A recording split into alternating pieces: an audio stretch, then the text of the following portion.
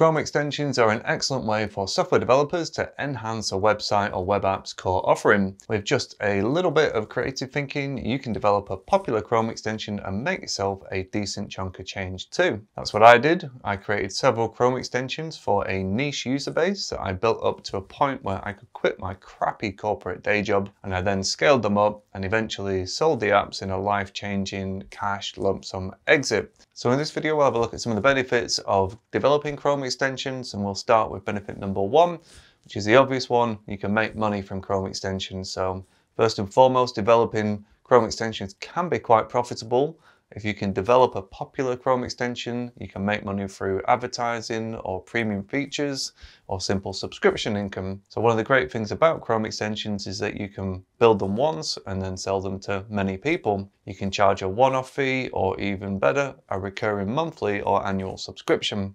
In my case, I decided to sell my Chrome extensions via a SaaS model monthly recurring subscription plan with an annual membership option too, where they get two months free. Uh, I've also offered my Chrome extensions as one-time lifetime purchases as well, ranging from $9.99 to $699. And yeah, you heard that correctly. People have actually paid almost $700 for one of my Chrome extensions. Um, but that said, the lump sum payment I received when I eventually sold and exited from my Chrome extension business was even more than the uh, total of my app subscription income. So you can't be sleeping on this Chrome extension opportunity. It's a great opportunity to, to monetize your software development skills. Benefit number two, uh, improve your development skills. So building Chrome extensions is a great way to improve those tech skills. It requires a reasonable understanding of HTML, CSS, and JavaScript. But if you're able to successfully develop a Chrome extension, it'll look good on your resume. Uh, and you can also use Chrome extension development as a way to learn new development frameworks and libraries. So for example, you can build a Chrome extension using a framework such as React, Vue, or Angular.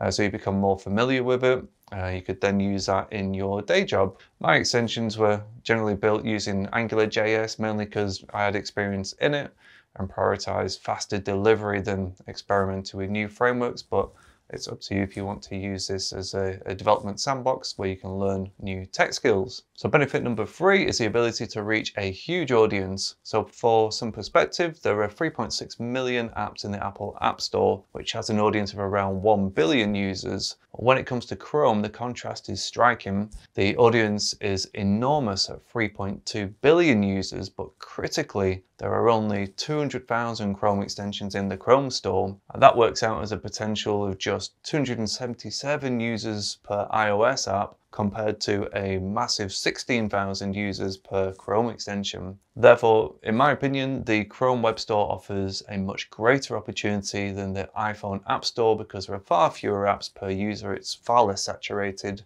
Add to that that you can also then uh, make that extension available in other browsers, app stores as well, such as Edge, Mozilla, uh, and Opera, uh, and you've got yourself a, much bigger target audience per app. So just before we go into the next benefit, if you want the inside scoop on how to build, test, publish, and promote a profitable Chrome extension, then download my free PDF quick start guide on developing Chrome extensions from the link in the description below. So on to benefit number four, which is portability to other browser stores. So when you develop a Chrome extension, you're not just restricted to the Chrome Web Store, you can also port your extension to other browsers such as Opera, Edge, and Firefox. And while the number of users on these other browsers is significantly lower than Chrome, it's still an option worth considering, especially due to the browser extension standardization efforts of the W3C. It's now possible to write a single extension that can be installed across all major browsers with just a few minor changes.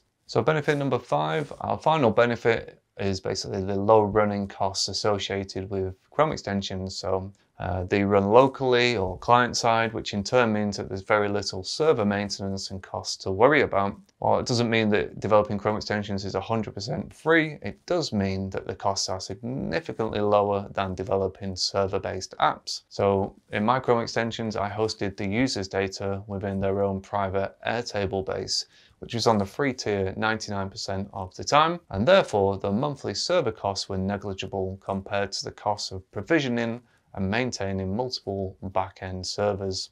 All right, there are the benefits of developing Chrome extensions. It can be profitable skill building and audience expanding work. And if you're interested in getting started with developing Chrome extensions, I've put together a free quick start PDF guide you can download right now. The link is in the description below. And finally, I have a ton of Chrome extension development content planned, so make sure you like and subscribe so you don't miss out on my future videos. And as ever, if you have any comments, questions, suggestions, then please leave them in the comments below. And that's it from me. Cheers for now.